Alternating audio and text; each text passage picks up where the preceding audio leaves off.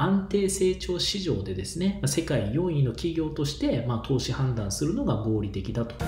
白坂慎太郎の経済ニュースの本質。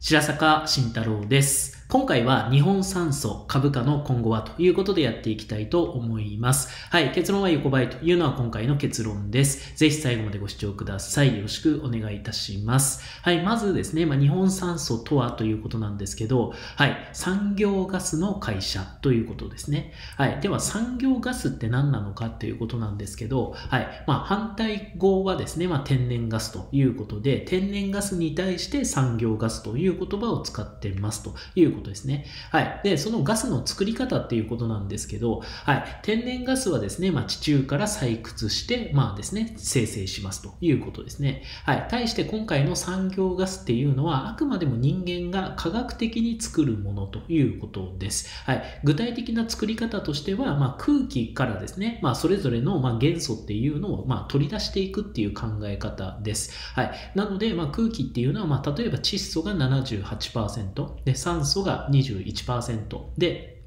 アルゴンがま1%という形で、まあ、生成、空気はま作られているので、まあ、それぞれですね、ま、空気に含まれている、例えば窒素だけを取り出すとか、酸素だけを取り出すとか、アルゴンだけを取り出すという形で、ま作っているのが産業ガスということです。はい。で、まあ、使い道っていうことなんですけれども、はい。天然ガスの場合はですね、まあ、一番主な使われ方としては、やっぱり火力発電の、ま燃料ということですね。なので、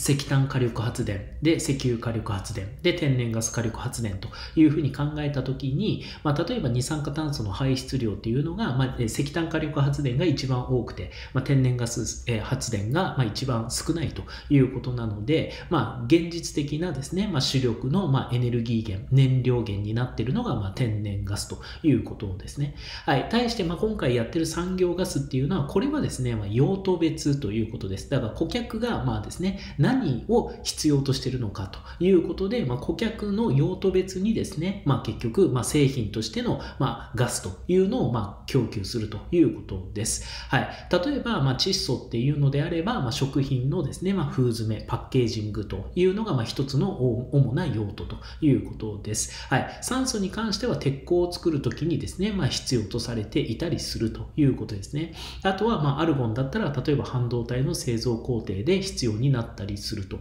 いうことで、実際、その、かなり顧客のですね、まあ、用途別に細かな対応をしていくというのが、まあ、産業ガスの、まあ、事業ということです。はい。よってですね、まあ、天然ガスに関しては、これも規模の経済で決まるということですよね。だから、まあ、いかに割安でですね、まあ、天然ガスっていうのをですね、まあ、例えば発電会社に、まあ、供給することができるかということですよね。で、安くで、まあ、製造工程としてですね、まあ、採掘とか製造工程で、まあ、安く、えー、ですね、まあ、天然ガスっていうのを、まあ、供給するすることができればできるだけ、まあ、利幅が大きくなるというのが、まあ、天然ガス事業ということです。はい。対して今回の産業ガスっていうのは、まあ、顧客のですね、まあ、用途別に、まあ、どれだけきめ細やかに対応することができるかということなので、結構ですね、まあ、はっきり言ったら、こう、シェアっていうのが確定しやすいという特徴があります。なので、まあ、例えば、まあ、1回ですね、まあ、日本酸素にですね、まあ、例えば窒素を依頼したということになると、もうそこでですね、まあ、顧客と、まあ、企業の関係っていうのがはっきりこう決まってくるので、なので、まあ、顧客企業からするとですね、まあ、別の企業からですね、まあ、仕入れるっていうのはですね、まあ、手間がかかるっていうか、スイッチングコストが発生するので、だから産業ガスの場合はですね、一回こう顧客との関係っていうのが企業が作ることができると、まあ、ずっとこう長期的な関係っていうふうになりやすいということです。だからその地域とか顧客のですね、まあ、区分けみたいなのがはっきりしやすい、まあ、そういう事業の特徴っていうのがありますということですね。まあ、天然ガスに関してははっきり言って、まあですね、今まで仕入れてたところよりももっと安くでですね、まあ、提供してくれるということであれば、まあ、最終的には価格競争になりやすいですし、まあ、企業からすると、まあ、どこまで行っても規模の経済の世界といういうことなんですけど、産業ガスの場合はですね、もう顧客に対してまどれだけきめ細やかに対応することができるかと。で、一回顧客と企業のま関係っていうのが作られたならば、結構長期的な関係になりやすいというのが、ま今回の産業ガスということです。はい。では、ま産業ガス市場のま推移ということなんですけど、はい。まあ、年平均5%の安定成長ということでですね、えなので、まあ、はっきり言ったら世界経済の成長に合わせて、ま産業ガスっていうのも、ま必要量が増えるという感じです。はい。で、またですね、まあ、産業ガス市場の、ま企業別のシェアっていう形で見た場合はですね、はい。もう現在はもう世界4強で市場がある程度安定しているということですね。はい。1位はリンデという会社で、これはドイツの会社ということです。はい。市場シェア32.9%ですね。はい。で、2位はエアリキードという会社で、これはフランスの会社ということで、まあ、シェアが28.1%ですね。だからまあ2強っていう言い方もできます。はい。ドイツのリンデ、そしてフランスのエアリキードで、世界2強ということですよね。この2強が非常にま激しくシェア争いをまかつてしていたということです。はい。で、3位がエアプロダクトケミカルズということで、これはアメリカの会社ということですね。はい。で、今回やってるのが4位、日本酸素ホールディングスでシェア8.9%です。はい。なので、まあ、2強っていう言い方もできますが、まあ、4強っていう形で言うと、まあ、日本酸素ホールディングスングスまで入れた 4, 4社で、まあ、世界、世界シェア8割ですから、まあ、これでまあ安定している状態ということですね。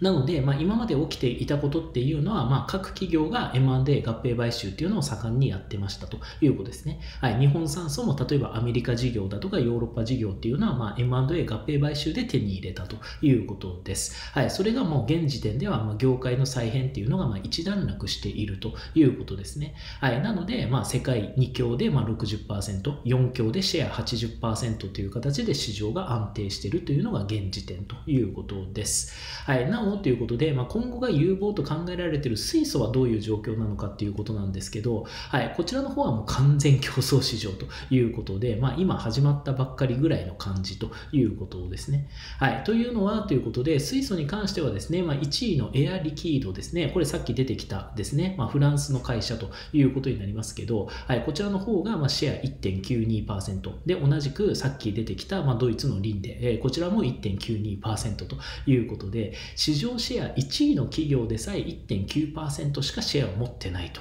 いうことですね。はい。まあ、ちなみに、え日本酸素ホールディングスは、え水素に関しては0.08ということなので、はっきり言ったら水素は考える必要がないということです。投資判断に関して言うと。はい。なので、まあ、水素っていうのは、まあ、この動画を撮ってる現時点では、まあ、生成に非常に経費がかかる、まあ、割高の、まあ、元素ということですよね。はい。まあ、地球にはですね、H2O っていう水はですね、もういっぱい存在してますけど水素という H2 という形ではほとんど存在してないんですよね、まあ、それはもう水素が軽すぎて、まあ、地球の重力ではですねとど、めておくことができないということなんですよね。だから水素っていうのは地球にはほとんど H2 っていう純粋な水素っていうのはほとんど存在してないということです。えなので、ま、水素っていうのはいくつか作り方があるわけですけど、まあ、そのうちの、ま、主な作り方の一つっていうのは、ま、単純に水の電気分解という作り方になるわけですよね。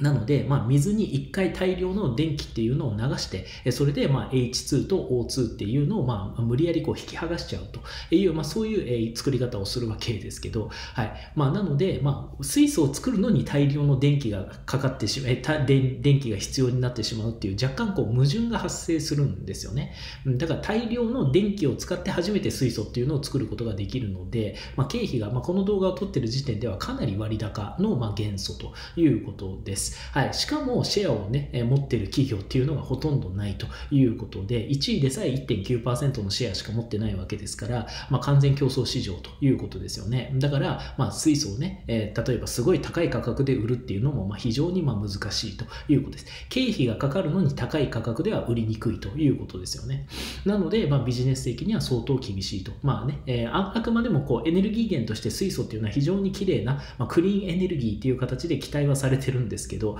まあ、利益を上げるっていう意味では相当厳しい、まあ、元素ということです。はい。なので、まあ、日本酸素に関してはですね、まあ、あくまで産業ガスですよね。だから空気をですね、まあ、分解して、まあ、窒素、酸素、アルゴンというのをまあ取り出して、まあ、それを顧客の用途別に売るという、まあ、そういう産業ガスの企業であり、まあ、安定成長市場でですね、世界4位の企業として、まあ、投資判断するのが合理的だというふうに考えています。はい。であればですね、まあ、日本酸素の利益創出能力から見積もれる企業価値はということなんですけど、まあ、1.13兆円ということです。はい。ではですね、まあ、株式市場の評価である、まあ、日本酸素の時価総額はいくらで評価されているかということなんですが、まあ、1.03兆円で評価されているということですね。はい。すなわちということで、まあ、日本酸素はですね、まあ、理論上の、まあ、利益の合計金額、企業価値は1.3兆円と、で、時価総額は1.03兆円ですから、まあ、日本酸素は今後も安定成長がまあ見見込める企業ということで、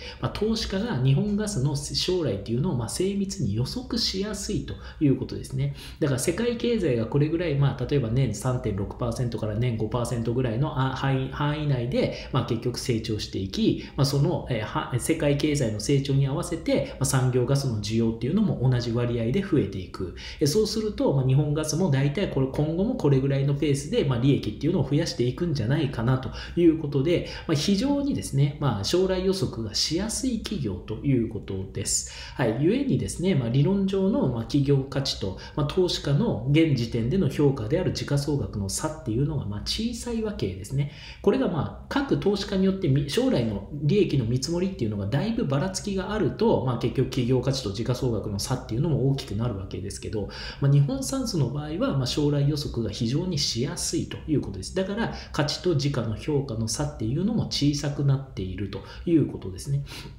だから、まあ、日本酸素の今後の株価はですね、まあ、横ばいということです。はい。株式市場は短期では単なる人気投票期、しかし長期だと価値測定期ということで、はい。日本酸素の今後の株価はですね、2617円近辺で横ばいというふうに予想します。はい。ということで、今回は日本酸素株価の今後はということでやってきたんですけど、結論は横ばいという結論です。はい。そして最後にということで、はい。おすすめ無料レポートを、え、ですね、一つご紹介させてください。今来ている大波ですね、ま、EV、電気自動車に関連して、EV 戦争の覇者という、まあ、価値の高いレポートをですね、まあ、無料にてお受け取りいただくことができます。もし内容に興味関心があるという場合はですね、ま、概要欄よりあなたのメールアドレスをご登録の上ですね、ま、レポポートを無料にてお読みください。はい。あなたのとても貴重な時間にて動画を最後までご視聴くださり感謝しています。いつも本当にありがとうございます。こう